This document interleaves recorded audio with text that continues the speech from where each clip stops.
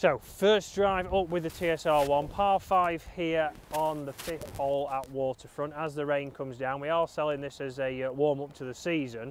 We're hoping the season's a little bit better than this. So A bit warmer and a bit drier would be nice. 40 gram shaft set in the driver, so we know that that's nice and lightweight. We saw that a couple of weeks ago this performed exceptionally well, so 216 carry, going 240 yards. Let's see.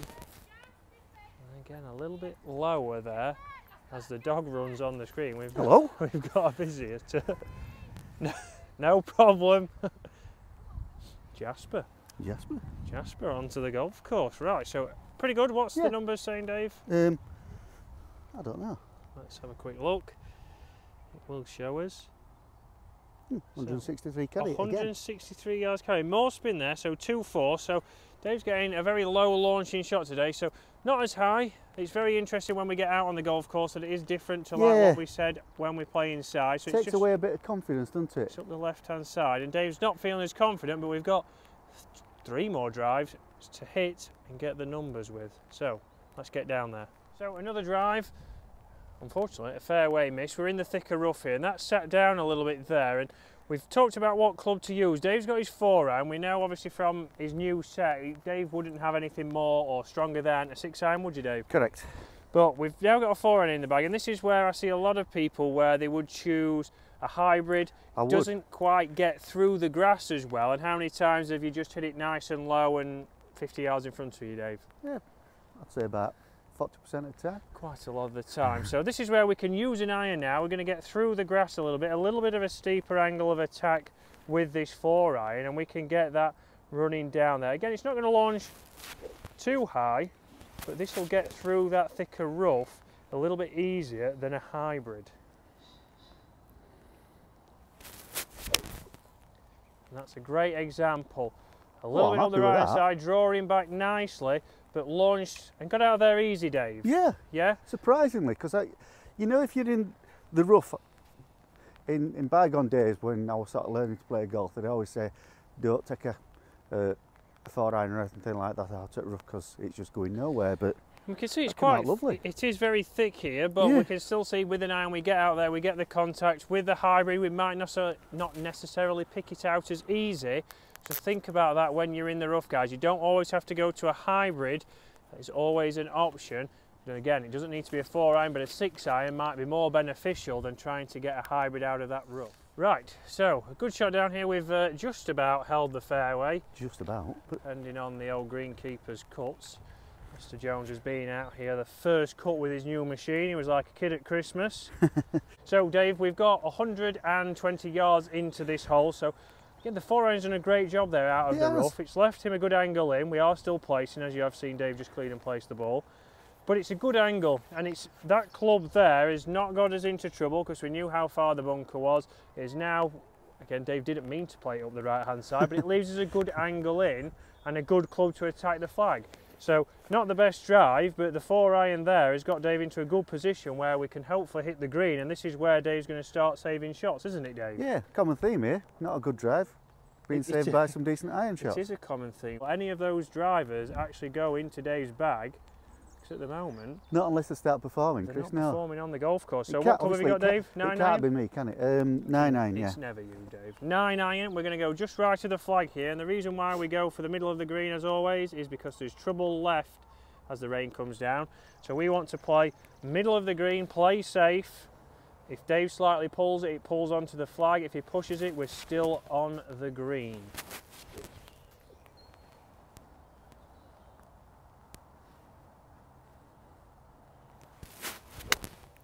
That's a fantastic shot. So straight at it, Dave. And that, if we zoom oh, I tell in, you what. is another fantastic nine iron. Just, just keep the nine iron, Dave. I know. Favourite club. So if we talk tour average again, we're looking there at we know from 120 yards. Dave should be looking at 22 feet on average, and Dave is around about seven and a half feet. So two great nine irons there, landing just on the edge of the green and stopping very quickly, and that's what we are trying to say, and that's what we're going to show you in next week's video. when Dave shows you his actual yardages and comparisons against the DCBs. Are we getting more distance? Are we just getting more landing angle? That's what we want to show you. And we're going to do that against all different irons. Dave's obviously spent his money on these irons, not as much as the premium brands. No. But so far, they're performing very well. Dave's worked on his game, which everybody has to work on the game, but he's given himself more chances. And this is to go one under par. Gross. It's never been such terms.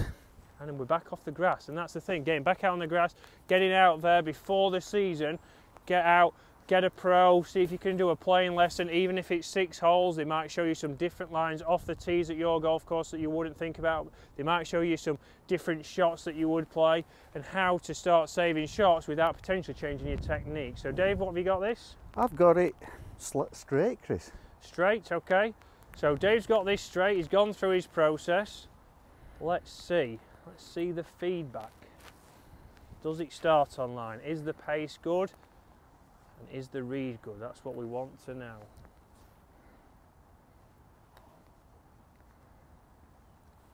Oh, Oh, you had to drop. Let's give it 10 seconds.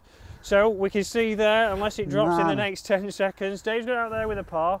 Pace just was a little bit under. Yeah. So that would have kept its line. That was a good read. It was a good roll. It started on Dave's intended line, but it fell off just because of the pace. If that was a foot past pace, that would have hit the middle of the flag. It would have gone in. We would have been one under par. But we're unfortunately, we're level going into the sixth. So let's get over there. They've just pushed on 140 downwind, which previous... Millicid, Millicid, Oh, is it? yeah.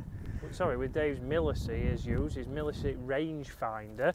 And we've got 140 downwind, and Dave's going to go 7 iron here. So, get it, that should be a nice and easy 7 iron. Yeah, I'm. I'm, I'm kind of thinking, but it might be slightly too much, but I'll give it a go. I'm still getting used to distances on them, Chris. Yeah, and we saw on the first hole uh, a couple of weeks ago now, Dave hit a 7 iron from 142, and it did run just past pin high. It was a, a good, obviously, first shot into the first hole here at Waterfront. So, this should be the club. But this is where getting used to your new clubs, getting your yardages, and we have weakened the loss, but Dave seems to be finding he might be actually getting some more distance. So watch out for that video. Smaller head though, so I think I'm getting a bit more club head speed. Smaller head, yeah, and it's obviously finding the centre then as a result is actually harder, which is making Dave actually swing a little bit smoother, find the sweet spot. And as we know, we found the sweet spot, we're all going to gain a little bit more distance.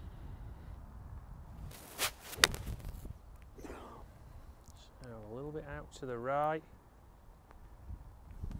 into the bunker. So not the best strike, but No. landed just front of the bunker. Yeah, So do you know what? Distance-wise, I mean, I know I didn't get, it wasn't the greatest of strikes, so I thinned it slightly, but it was still getting the distance. It would have got there, so the carry dropped a little bit as we'd expect from a thin, but we're going to see if we can get up and down there. We know Dave's level par, so let's see how his short game's standing up. He hasn't got his new wedges yet, but they will be here, hopefully, for next week. Good lie, we've got a little bit of, well, quite a long way to go, probably 35, 40 yards. Dave's having a look amongst the head covers. Which one are we going for, Dave? 56, Chris. 56. Highest good. loft I've got currently. highest loft. So there's no 16 days bag on the new wedges. I know it has resorted back to I a have. 60. Sorry, Chris, I, I just didn't take any notice of you How again. dare you, but he just wanted one in there. But 56, a great option from here because we need obviously a little bit more carry as it's a longer shot. Some people in here think, well, I have to go 60. They try and hit it with a full swing, they lose balance, and it probably stays in there.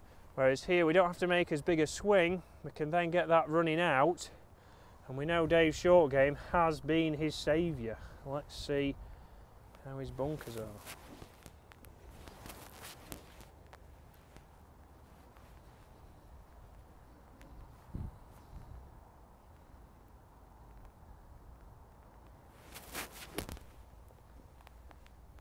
That a great shot distance wise. Yeah. Stopped pretty quickly but easily carried over the lip. Left himself a bit of a tester. Again, 20 feet, guys, that would be a good shot. Dave, as we know, is a 12 handicap golfer. Tour average even from there would probably be around about six to seven feet. So would you be happy with that shot, Dave? I'd be more than happy because you just don't know how it's going to react out of wet sand. No, You know- wet sand it is obviously raining as you can see probably by the camera lens and all the video. You, you don't know how it's always going to come out. You have to maybe catch it a little bit cleaner so it's controlling your low point, which Dave has done well there. Left himself an uphill putt or just a putt in general. If you're inside 30 feet, we know that's the area of the putting green where we should be two putting from. So Dave, at worst here, is going to two putt, which then we get out with a bogey, which is not bad. It was the shot off the tee, which was slightly pushed, which Yeah. we're going to do as a mid-handicapper. But then it's about getting out here and limiting the damage before we get to the seventh hole and another par four and another test for the TSR1. That's a great Oh. effort there from Dave. But- so good pace, Yeah. good start line, just a little misread. Yes. So Decent putt easy, though. Yeah, Decent putt. easy to break down. We're not expected to hole putts there for probably around 15 to 20 feet there. Again, one in four for a Tour Pro. For Dave, who, Who knows?